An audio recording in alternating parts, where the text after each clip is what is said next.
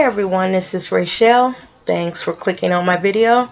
And I just stopped in today to give you a little bit of celebrity tea. And the first ones up are Diddy and Cassie. Now, there is a story circulating all over the internet today that these two had a breakup brawl. Now, basically, what the story is is that um, I guess they were out and they were in their car and an argument, you know, began. Um, they said that Diddy grabbed Cassie's phone and I guess he began to scroll through the phone. Um, the reporter saying that she had threatened to break up with him, and I guess he became suspicious and he started looking through her phone. Now, the report goes on to say that Diddy jumped out the car and I guess walked away and Cassie pulled off in the car with the driver and goes back to the home that they share. Now when she got back to their home, apparently she called her mother and told her mother what occurred. And the report is saying that the mother called the police, not Cassie. Um, I guess the mother was worried, you know, maybe he would come home and he would be violent. Now, I guess in the meantime, Diddy did return to the home that they share, and right about that time, the police showed up. Now, the police did go in and talk to both of them, make sure everything was okay, like they do in, you know, if it's a domestic violence call. Now, the police didn't find anything wrong, but they did write up a report, you know, um, just stating the facts of why they came out to the house. Now, these two have been dating on and off since 2007 and they seem to just have their ups and downs. I think this story today is nothing more than a lover's quarrel that, you know, just went a little wrong. Um, I think when Cassie called her mother, maybe that escalated the situation a little bit. A lot of times when uh, couples are having an argument, sometimes it looks worse to the people that are on the outside than it actually is. Um, now, I don't know if there's a history of anything or if you guys have heard any stories about Diddy being abusive. I've never heard anything like that.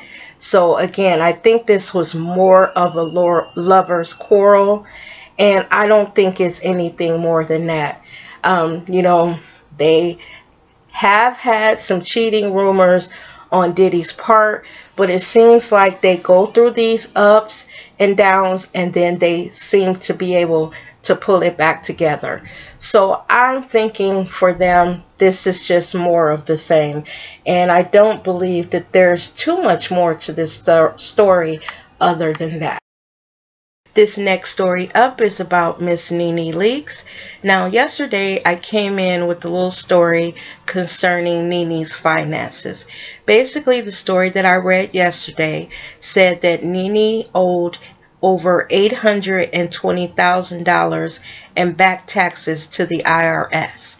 The story that I read yesterday said that the IRS is threatening to put a lien on her home unless she pays them that money. Now today, Nene um, kind of responded to that threat from the IRS.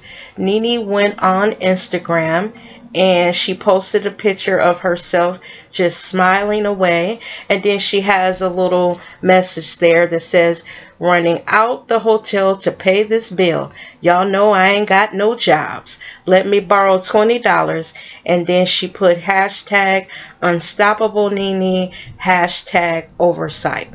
Now I think Nene, like I said yesterday, is the type of woman that when it comes to her money and her finances, she is on it. Now, what I believe has happened is this.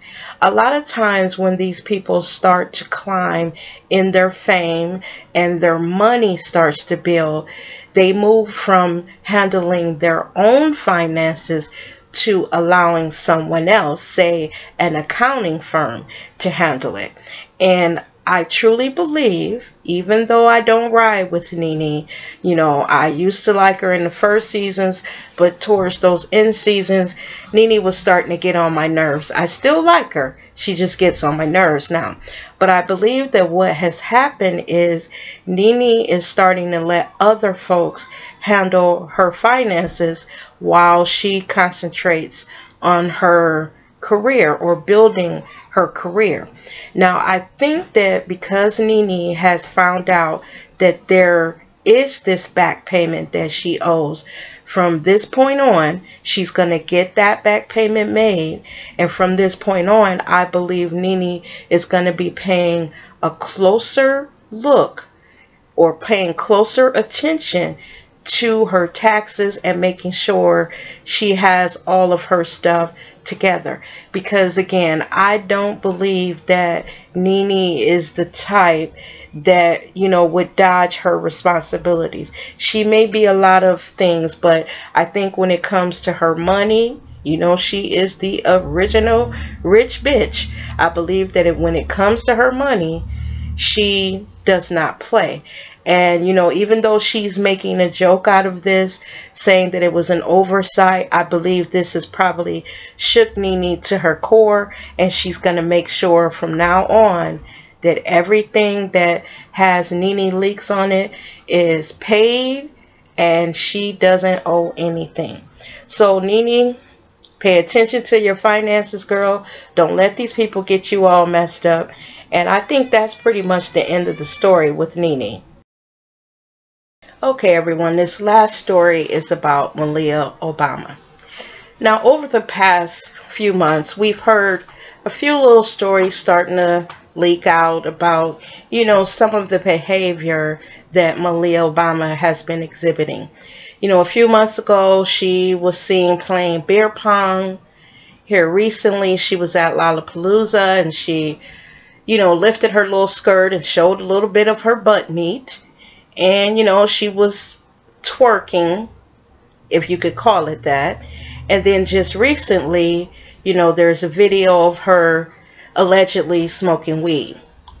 Now today I go on the internet and there's another story about Malia being at a house party there in Martha's Vineyard where the first family is vacationing now, what they said is that the party had gotten kind of loud and rowdy, and they believe that these teenagers were drinking and that the police were called. Now, the story goes on to say that the Secret Service uh, rushed Malia out of the house before the police actually got there. Now, what I'll say is this Malia, I get it. I get it. You are trying to spread your wings, and I get that. But you know what? Enough is enough. Because first of all, you're you know more than anyone, more than any of us who are looking at you and who are starting to say, you know, enough is enough. You know that you are the daughter of the President of the United States. And with that, comes a certain level of responsibility. Now, of course, that responsibility can get a little heavy at times when you're a teenager just trying to be normal. But what I will say for your parents, Malia, is this. They are allowing you a lot of leeway. They're allowing you to hang out with your friends. They're allowing you to go to parties like normal everyday kids. They're allowing you to experience the normal things in life that a teenager does. But you also have to turn around and say, because they're allowing me to be normal, because they're giving me, or at least trying to give me, this regular upbringing as much as they can in the position that they are, I have a responsibility to them. And that responsibility is to go out, have your fun, have your fun, but do it in a way that's respectful to the office that your father holds. Your father has given us seven years of scandal free administration.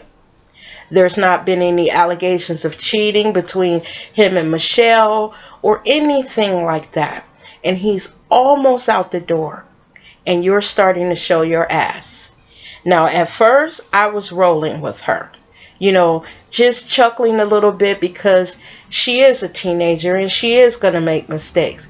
But you know, this is starting to be one after another.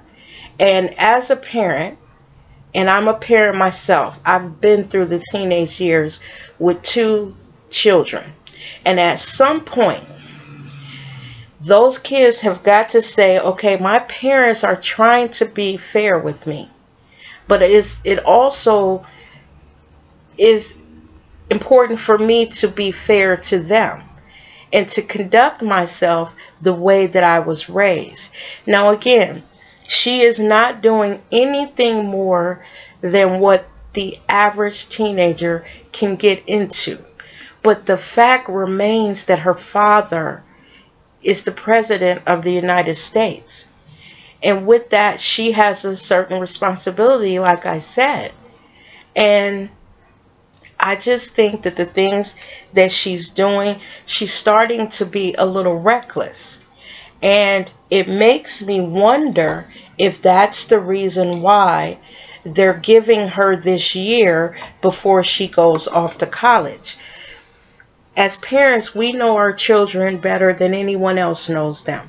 And maybe Barack and Michelle don't feel that she's ready to be in a college atmosphere alone, you know, where she is, you know, just there living that college life, they probably understand that she has been cooped up in that White House and they were trying to give her a year of living outside of the White House just being an average 19 year old girl. But she's starting off the wrong way. And, you know, a lot of folks have said that these people that she's friends with may not be her good friends because, you know, they are allowing video or taking video of her doing these things and probably selling them to the tabloids. And I know that this has got to worry and hurt Michelle and Barack. I know it has to because they seemed like they tried to raise responsible kids.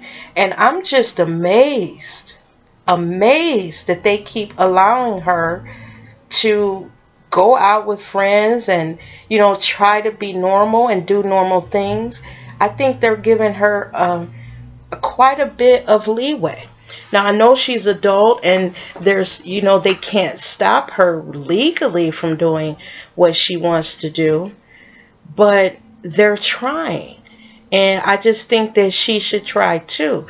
Because, you know, just after having been caught smoking weed and now she's at a party, it sounds like to me they talked to her and she probably promised that you know she was going to do her best to not get in trouble again.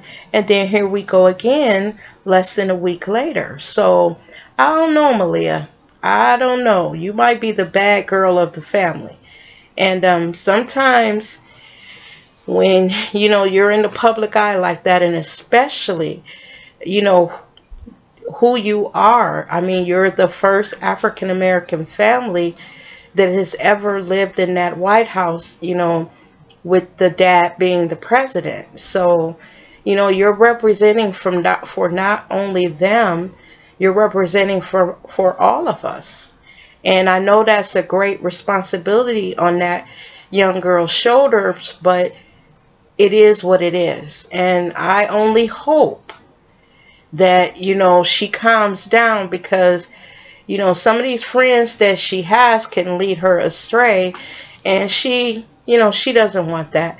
I want her to make it to Harvard, settle down, into her life, you know, because let's face it, those Bush twins were in the White House acting a fool too, and um, getting drunk and doing all kinds of things and ditching the Secret Service. And um, even with all that, they seem to have turned out okay.